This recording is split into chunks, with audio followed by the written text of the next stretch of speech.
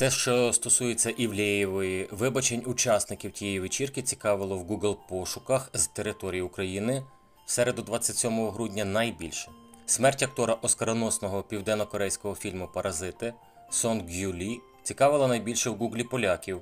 48-річного актора знайшли мертвим в автомобілі.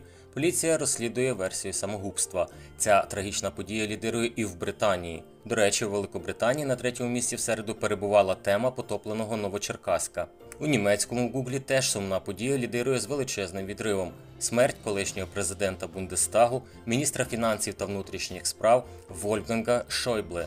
Йому був 81 рік. Поки різдвяні канікули, читачі за економіст цікавляться підбіркою найкращих ділових та політологічних книг 2023 року.